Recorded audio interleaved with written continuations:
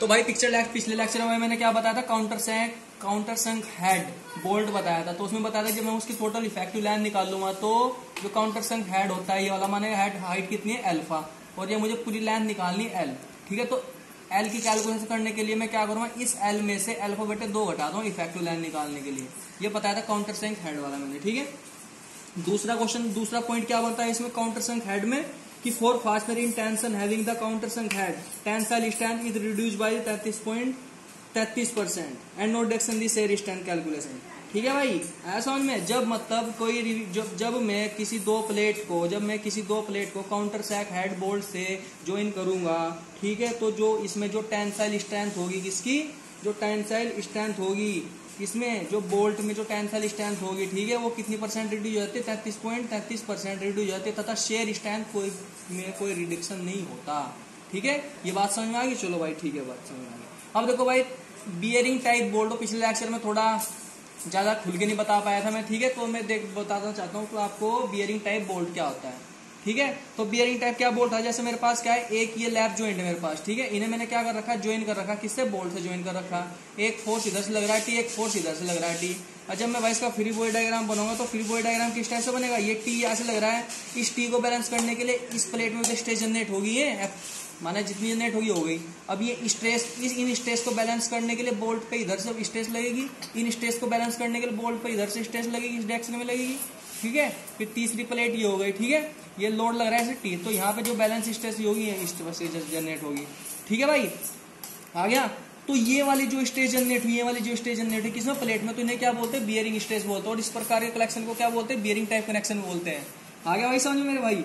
चलो ठीक है, बहुत बढ़िया, यहाँ तक आ गया। अब देखो भाई, ठीक है? अब देखो, कुछ एग्ज़ाम्पल देख लो भाई एग्ज़ाम्पल ठीक है? एग्ज़ाम्पल देख लो, कैसे एग्ज़ाम्पल की जैसे मेरे पास क्या है? एक लैब ज्वाइंट है।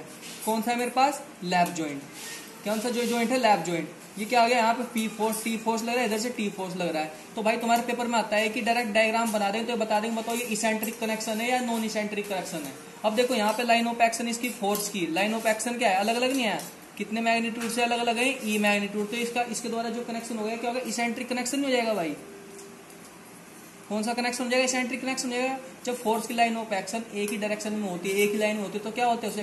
कंसेंट्रिक कनेक्शन बोलते हैं। जबकि जब अलग अलग डायरेक्ट अलग अलग उसमें हो गया, देखो, एक टी इधर लग रहा है टी इधर लग रहा है। देखो, कितना डिफरेंस इन दोनों के बीच में क्या बने? मोमेंट जनरेट नहीं करेंगे। तो इस मोमेंट को जनरेट होने के कारण क्या कहेंगे ये इसेंट्रिक कनेक्शन हो गया, ठीक है? जैसे दूसरा हो गया, जैसे बट ज्वाइंट वाला joint butt joint with double cover एक है ज्वाइंट ये बोर्ड लगा दिया, एक बोर्ड लगा दिया। इधर से पी लगा दिया, इधर से पी लगा दिया। तो देखिए लाइन ऑफ़ एक्शन क्या है? सेम है। इस प्रकार के कनेक्शन को क्या बोलता हूँ भाई? इस प्रकार के कनेक्शन को क्या बोलूँगा भाई मैं? नॉन इसेंट्रिक कनेक्शन बोलूँगा। ठीक है? तो ये चीज़ें आपको याद रखनी है। ठीक है? इंपॉर्टेंट चीज़ है भाई ये। अब देखो, एक टॉपिक देख लो भाई। एक टॉपिक टैकिंग रिविट क्या होता है? Tacking bolt sorry tacking bolt और रिविट ठीक है? कोई नहीं है। जैसे मेरे मेरे पास क्या है? एक क्या है? गजट प्लेट है भाई। कौन सी प्लेट है? गजट प्लेट इस टाइप से गजट प्लेट है। अब मुझे क्या करना भाई? इस गजट प्लेट पर एंगल सेक्शन को ज्वाइन करना ठीक है? इस गजट प्लेट को क्या करना है? एंगल सेक्शन को क्या करना ज्वाइन करना। तो देखो मैं यहाँ से देखो क्रॉस सेक्शन बना देता हूँ इस टाइप से। एक क्रॉस सेक्शन ये क्या होगी गजट प्लेट हो गई ठीक है? एक ये क्या हो गया? एंगल सेक्शन हो गया। ये भी क्या हो गया? एंगल सेक्शन हो गया ठीक है? तो ये क्या होगी ये गजट प्लेट होगी ये क्या हो गया? एंगल सेक्शन हो गया। ये भी क्या हो गया? एंगल सेक्शन हो गया ठीक है? अब देखो ये देखो ये क्या है? ये टॉप व्यू देख रहे हो। अब देखो मैं एक एक रिविट यहाँ लगा दी एक रिविट यहाँ लगा दो, दो तीसरी रिविट यहाँ लगा दी या बोल्ट लगा दिया। तो क्या इन्हें क्या कह रहे हैं? सिंपल बोल्टिंग कह दिया। लेकिन इन्हें क्या कह रहे सिंपल बोल्टिंग कह दिया लेकिन जब मैं जब मैं एंगल दोनों एंगल सेक्शन को ज्वाइन करने के लिए कोई एक बोल्ट लगाऊँगा एक बोल्ट यहाँ लगा दिया ठीक है? एक बोल्ट यहाँ लगा दिया। मतलब गजट प्लेट में नहीं आना चाहिए वाला बोल्ट किसमें आना चाहिए? गजट प्लेट में आना चाहिए लेकिन एंगल टू एंगल जुड़ना चाहिए ठीक है? जिससे कि दो एंगल आपस में ज्वाइन हो जाए। तो इस प्रकार के बोल्ट को क्या बोलते हैं? टैक बोल्ट बोलते हैं भाई ठीक है? इस टैग बोल्ट का यूज़ कहाँ करते हैं? इस टैग बोल्ट का यूज़ कहाँ करते हैं? जो कनेक्शन में जो कनेक्शन में बक, लोकल बकलिंग होगी ना? लोकिंग लोकल बकलिंग को क्या लोकल बकलिंग को मिनिमाइज करने के लिए टैग बोल्ट का यूज़ किया जाता है भाई। ध्यान रखना है चीज़ें बहुत इंपॉर्टेंट चीज़ है, ठीक है? अब देखो कुछ भाई स्पेसिफिकेशन हो टैग बोल्ट के। टैग बोल्ट की जो पिच हो ना, बत्तीस टी और तीन सौ M M which is which is less ये कब लेंगे? जब प्लेट जब प्लेट वेदर से, जब प्लेट वेदर से एक्सपोज न हो। जब प्लेट वेदर से एक्सपोज न हो, तब क्या लेंगे? इतनी लेंगे टैप टैग बोल्ट की, ठीक है? आगे भाई समझ में, जब मतलब एक्सपोज ना हो।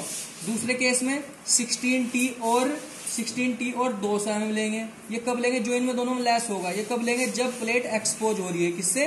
वेदर से एक्सपोज हो रही है, ठीक है? देखो चौथी कंडीशन जो तुम्हारे पेपर में पूछी जाती है, जो टैग बोल्ट में जो पिचिंग होती है टैग बोल्ट में जो पिचिंग होती है, वो कितनी होती है? एक हज़ार एम होती है, एक हज़ार से कम हो। जाए किसमें? टेंशन मेंबर के केस में, ठीक है? जो टैक रिविटिंग में जो पिचिंग होती है 600 सौ एम से क्या होना चाहिए कम हो जाए किस केस में कंप्रेशन मेंबर के केस में, ठीक है? तो ये चीज़ें आपको याद रखनी है भाई, ठीक है? बहुत इंपॉर्टेंट चीज़ है, ठीक है? आगे समझ में ये बात यहाँ तक? चलो, बहुत बढ़िया, यहाँ तक समझ में आ गया तो आपके। अब देखो भाई, मुझे क्या करना है? एक प्रकार का क्या होता है, देखो यहाँ। एक स्पेसिफिकेशन लिख लो भाई, जैसे क्या होगा कि जब मैं बियरिंग टाइप क्या करता हूँ? बियरिंग टाइप बोल्ट का क्या करता हूँ? डिज़ाइन करता हूँ मतलब बियरिंग टाइप बोल्ट का डिज़ाइन कर बियरिंग टाइप बोल्ट कनेक्शन का डिज़ाइन करता हूँ तो उस, उसके डिज़ाइन में भाई निम्न अजम्पन्स होते हैं अजम्पन्स फिर अजम्पन मतलब मान्यता है तुम्हारे एस एस के पेपर पूछ रखी भाई ये। तो पहला जंक्शन कौन सा होगा कि भाई जो फ्रिक्शन है ना जो प्लेट के बीच में जो फ्रिक्शन है उसे क्या करना चाहिए? नेग्लेक्ट करना चाहिए ठीक है? जो प्लेट के बीच में प्लेट्स के बीच में फ्रिक्शन एफ़ को नेग्लेक्ट करना चाहिए। ठीक है, पहला जंक्शन हो गया। दूसरा जंक्शन कौन सा होगा कि जो बोल्ट के क्रॉस सेक्शन में जो शेयर स्ट्रेस का जो डिस्ट्रीब्यूशन होना चाहिए ना, वो क्या होना चाहिए? यूनिफॉर्म होना चाहिए। ठीक है, बोल्ट के क्रॉस सेक्शन में शेयर स्ट्रेस का डिस्ट्रीब्यूशन क्या होना चाहिए भाई? यूनिफॉर्म होना चाहिए।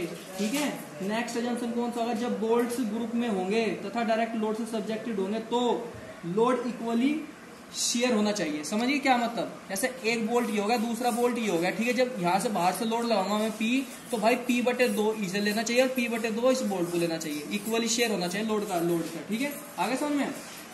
चलो भाई, बहुत बढ़िया। नेक्स्ट जो बोल्ट में जो बैंडिंग स्टेसिस होगी, उसे क्या करना पड़ेगा? नेग्लेक्ट करना पड़ेगा। आगे समझ में? उसे क्या करना पड़ेगा? नेग्लेक्ट करना पड़ेगा। अब देखो, हम क्या निकालते हैं भाई?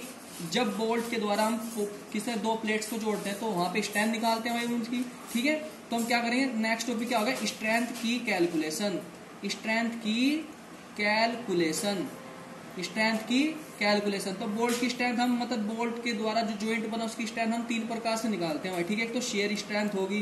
क्या हो गई? शेयर स्ट्रेंथ होगी। दूसरी कौन सी होती है? बियरिंग स्ट्रेंथ होगी। तीसरी कौन सी होगी? टेंसाइल स्ट्रेंथ हो गई। ठीक है भाई? फिर हम इसकी एफिशिएंसी निकाल लेंगे, ठीक है? तो देखो शेयर स्ट्रेंथ शेयर स्ट्रेंथ क्या होती है? देखो भाई। शेयर स्ट्रेंथ तो देखो भाई शेयर स्ट्रेंथ मैंने आपको बताया था, ठीक है? पिछले मतलब रिविट कनेक्शन में बताया था मैंने, मेरे पास क्या है? लैब ज्वाइंट है, ठीक है? ये क्या कर रखा है? बोर्ड से ज्वाइन कर रखी दो प्लेट ठीक है? यहाँ पे लोड लग रहा है लोड लग रहा है. तो मैं जब लोड लगा रहा हूँ, ये लोड लगा रहा हूँ तो ये बोल्ट कितना रजिस्ट कर रहा है इस लोड को? ये बोल्ट ये वाला बोल्ट कितना रजिस्ट कर रहा है इस बोल्ट को? तो उसे क्या बोलते हैं? शेयर स्ट्रेंथ बोलते हैं भाई, ठीक है? तो शेयर स्ट्रेंथ को वी एन एस बी से डिनोट करते हैं भाई। वी एन एस बी बराबर क्या आता है? एफ़ यू बी गुणा ए एन बी बटे अंडर रूट तीन। ये क्या होता है? शेयर स्ट्रेंथ का फॉर्मूला होता है, ठीक है? जहाँ पे एफ़ यू बी क्या होता है? Ultimate strength of bolt. Ultimate strength of bolt को ए एन बी क्या होता है? A N B root. मतलब जो मैंने बताया था ना, बोल्ट, ये बोल्ट। ये क्या आता है? बोल्ट। बोल्ट के यहाँ पे क्या आता है? थ्रेड होता है, थ्रेड का रूट का एरिया। तो कितना होता है? Zero point seven eight Guna five by four into D square. ये होता था, ठीक है भाई? ये आपको बात याद रखनी है। अब देखो भाई, कुछ रिडक्शन फैक्टर्स होते हैं। आ गया ना शेयर स्टैंड क्या है? शेयर स्टैंड किसकी? बोल्ट की। अब कुछ रिडक्शन फैक्टर होता है। पहले मेरा क्या चल रहा है? शेयर स्टैंड का टॉपिक ही चल रहा है अभी। बाद में बियरिंग पढ़ाऊँगा। अब देखो, कुछ नोट रिडक्शन फैक्टर होते हैं भाई, की शेयर शेयर कैपेसिटी बोल्ट की रिड्यूस हो जाती है। क्यों होती है? वो बताऊँगा मैं। ठीक है रिडक्शन फैक्टर तो पहला रिडक्शन फैक्टर क्या होगा कि जब ज्वाइंट की लेंथ जब ज्वाइंट की लेंथ जब ज्वाइंट की लेंथ पहले रिडक्शन फैक्टर कब होगा? जब ज्वाइंट की लेंथ 15 इंटू डी से क्या हो जाती है भाई? ज़्यादा हो जाती है। तब इस केस में क्या हो जाता है कि शेयर स्ट्रेंथ की जो कैपेसिटी है ना मतलब बोल्ट द्वारा जो शेयर को रजिस्ट करने की जो कैपेसिटी वो रिड्यूज हो जाती है। वो कौन से फैक्टर से रिड्यूज हो जाती है? बी एल जे से। ये फैक्टर कितना आता है? One point zero seven five minus के zero point zero zero five L J बटे डी इसका मतलब क्या है कि देखो ज्वाइंट की लेंथ ज्वाइंट कौन सा? ये वाला ज्वाइंट ये वाला लैब ज्वाइंट हो रहा है, ये वाले। ये क्या होगी? टोटल लेंथ ये क्या होगी? एल जे ठीक है भाई? ये क्या होगी? ज्वाइंट जब ये ज्वाइंट की लेंथ किससे ज़्यादा हो जाती है? पंद्रह इंटू डी से ज़्यादा हो जाती है। तब इस केस में क्या लेते हैं हम? रिडक्शन फैक्टर लेते हैं। अब तो जो इसकी तो स्ट्रेंथ क्या हो जाएगी? देखो वी एन एस बी बराबर क्या हो जाएगा? V N S B F U B Guna A N B बटे अंडर रूट तीन गुना बी एल जे हो जाएगा। ठीक है? आगे समझ में?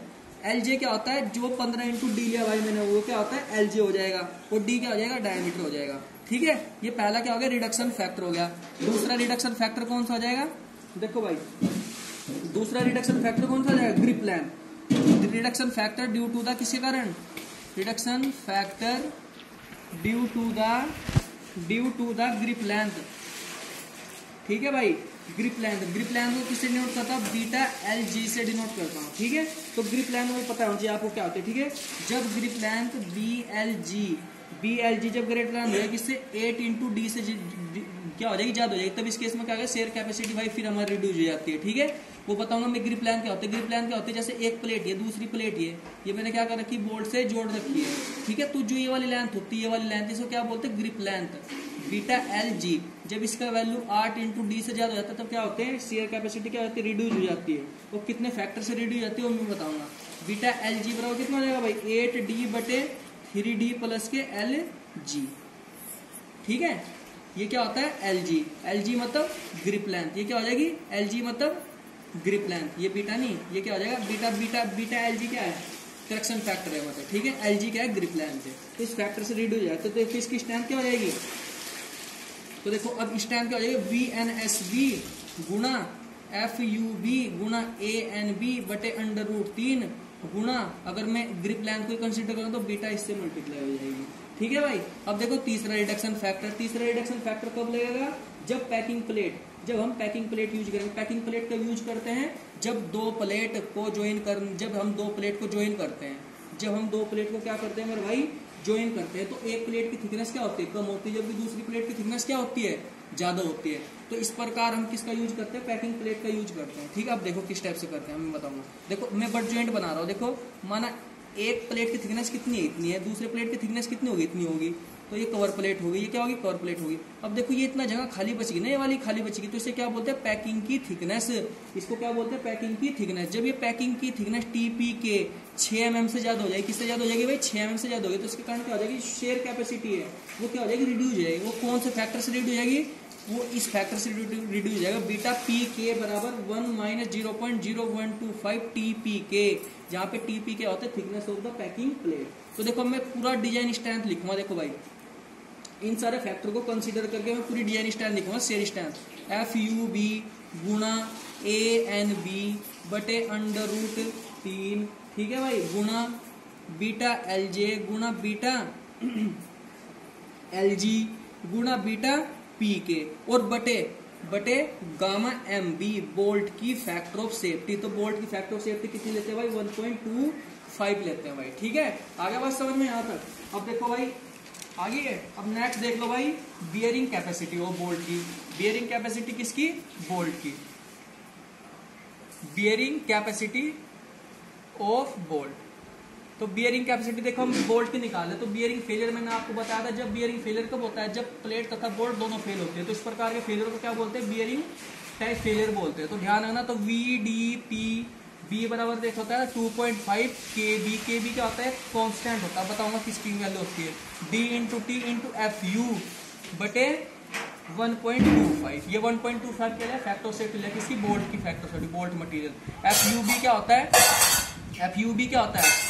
जो प्लेट होगी ना प्लेट प्लेट की अल्टीमेट टेंसाइल स्ट्रेंथ समझिए प्लेट की अल्टीमेट टेंसाइल स्ट्रेंथ जहाँ पर के बी के बी क्या होता है? कॉन्स्टेंट होता है, ठीक है? जिसकी वैल्यू क्या होती है? इनम इनम होते हैं ई e बटे थ्री इंटू डी टी बटे थ्री इंटू डी माइनस के zero point two five F U B बटे एफ़ यू और वन पॉइंट ज़ीरो जो इन तीनों में जो इन चारों मिनिमम होगी, वो क्या होगी? के की के बी की मिनिमम वैल्यू होगी, जहाँ पी क्या होता है? एंड डिस्टेंस डी क्या होता है? Diameter of the hole P क्या होती है? पिच एफ़ यू बी क्या होती है? बोल्ट की ultimate tensile strength F U F U क्या होता है? एफ़ यू क्या होता है? प्लेट की ultimate tensile strength okay guys thank you